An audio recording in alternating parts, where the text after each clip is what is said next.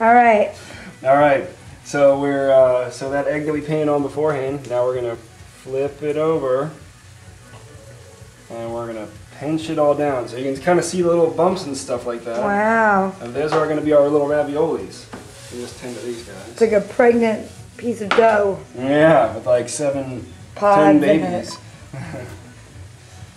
all right, then I'm gonna take my hands this, like that. I'm gonna pinch around each one. Yeah.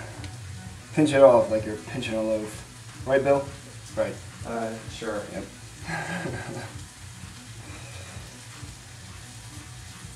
there we go. Yummy. Yum. This is gonna be delicious.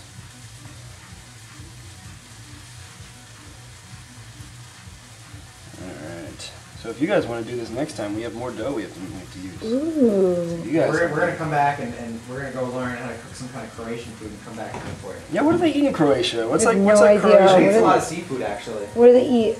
Look at what Find they out. eat. Yeah, yeah. What do I'm people? gonna tell you, I'm not real big on the whole sausage thing here. Like, I've it's just was not. It's, I don't think It's this not is it's not flying well. This is something that I can eat all so the there we go. Those are our, those are our little raviolis. And you want to do the honors? Do you want me to cut? I can, You can cut the first one and then I'll cut the second like row. that. Wait, so you just cut the little squares off? Oh my god, they're so cute. Oh my god, wait. Oh my god, it's so cute. and then you can kind of just. There we go. Hey, I'll cut a few. Yeah. Okay. Right, Yeah. Cool.